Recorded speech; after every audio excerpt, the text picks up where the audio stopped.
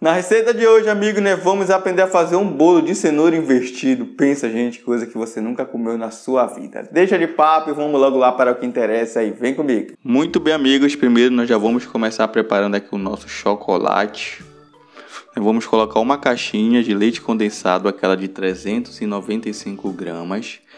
Duas colheres bem cheias de cacau em pó. O meu é 50%, é 100%.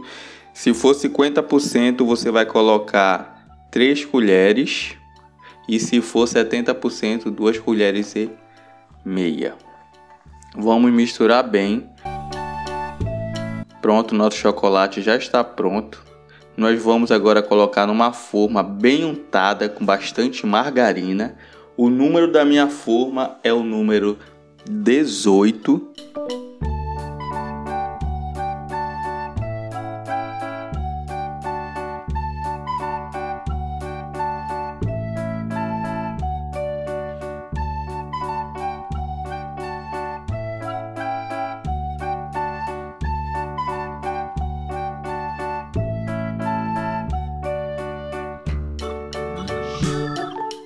Deixei reservado, amigos. Agora nós vamos preparar a massa.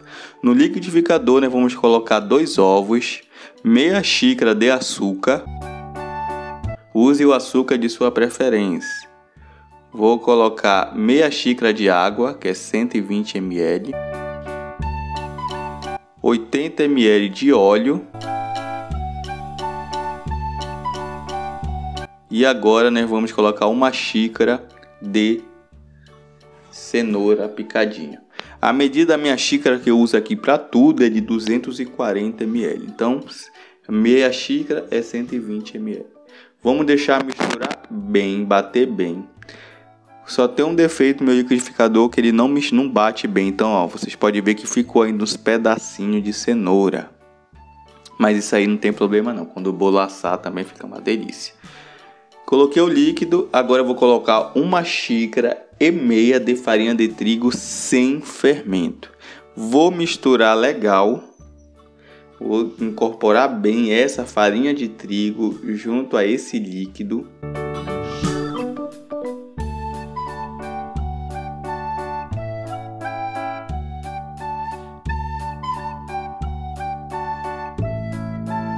Misturei legal, agora eu vou colocar uma colher de sopa de fermento para bolo.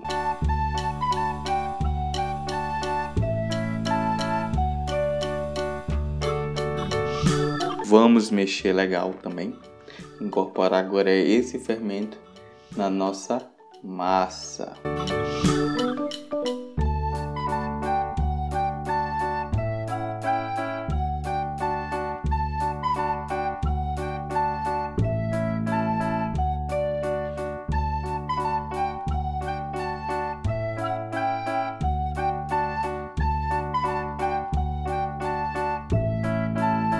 Agora vamos colocar na nossa forma, a forma que nós já deixamos reservada, untada com o nosso recheio, né, com a nossa cobertura, não sei nem como é que eu falo isso.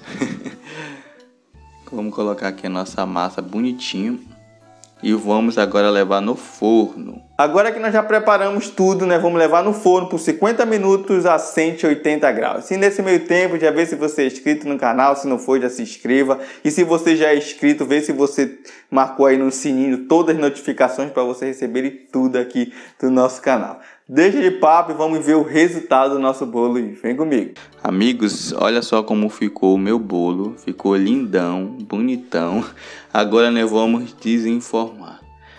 Amigos, infelizmente eu tenho que desenformar o meu bolo morno e eu deixei esfriar muito, então ele quebrou. Olha só, ele quebrou porque ele não estava bem morno, porque eu tenho que desenformar morno, aquele morno que você consegue pegar na forma. Meus amigos, vocês viram que o meu bolo, ele, a cobertura do chocolate, né, não ficou certinha, ela quebrou.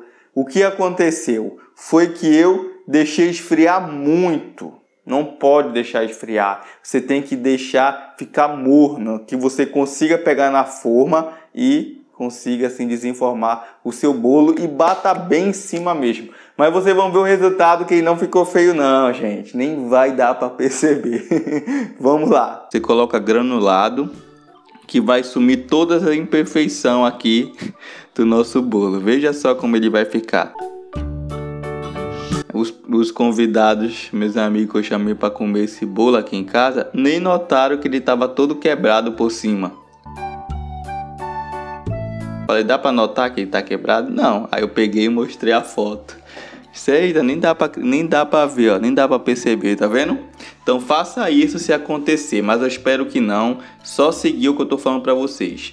Desinforme o seu bolo é morno. Não deixe ele esfriar e não desinforma ele quente, que você não consiga pegar na forma, que aí também não vai dar certo. Olha, nosso bolo de cenoura invertido ficou assim, gente. A massa bem fofinha, ficou muito top mesmo.